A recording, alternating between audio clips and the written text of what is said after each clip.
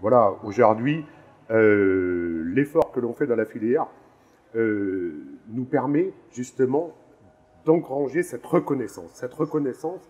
Et comme je dis toujours, voilà, quand on veut aller, quand on va seul, on va vite.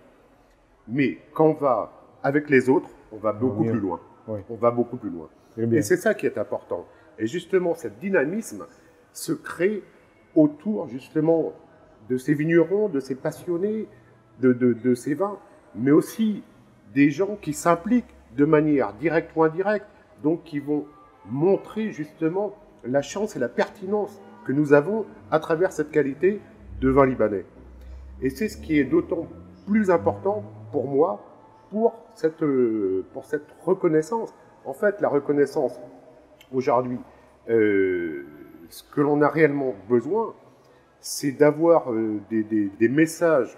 Les messages que nous recevons de l'étranger devraient être beaucoup plus relayés au Liban pour montrer justement aux consommateurs libanais que autant à l'étranger, les consommateurs peuvent apprécier, mais à des prix très élevés, les vins libanais. Aujourd'hui, on parle d'un château Kefreya, ça va être 24-25 euh, euros la bouteille.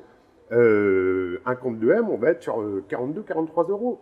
Donc là, on est vraiment dans des niveaux très très élevés en termes de prix. Donc ce qui signifie que si on est crédible à ce niveau de prix, c'est parce que nous avons une qualité qui correspond à ce niveau de prix.